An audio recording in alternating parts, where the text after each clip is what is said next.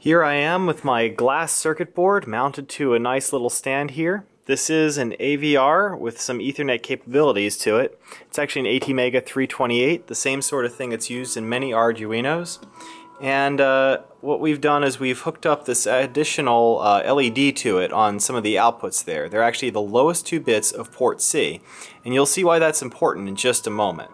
So what I've done is I've assigned it an IP address, a fixed IP address, and I'm right now ping flooding it. You can see that thing flying along at, um, I don't know, maybe about 200 pings a second.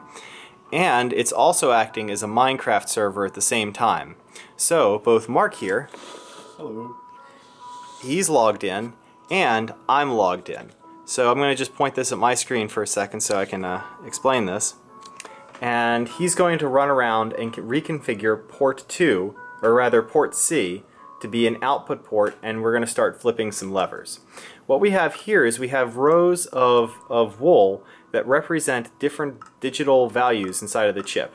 These are actually the I.O. ports. So here I can change which bit I want to read, or which rather port I want to read. I can read port 0, or I can watch the port that he's changing right here.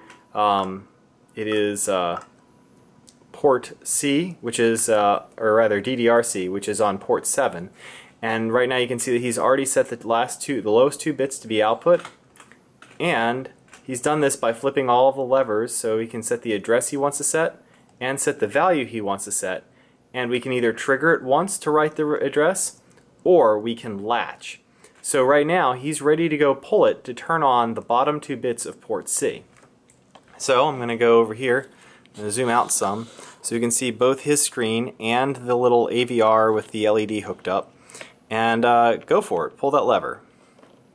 See that? As soon as he turned it on, it lit up. Now, because we're in latch mode, he can turn on the levers willy-nilly and it'll change the state of the LED. As you can see, he's turning them on and off and we're able to turn that uh, the outputs on that AVR on and off.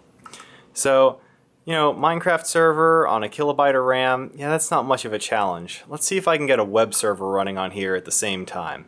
But I guess that'll be for the next video.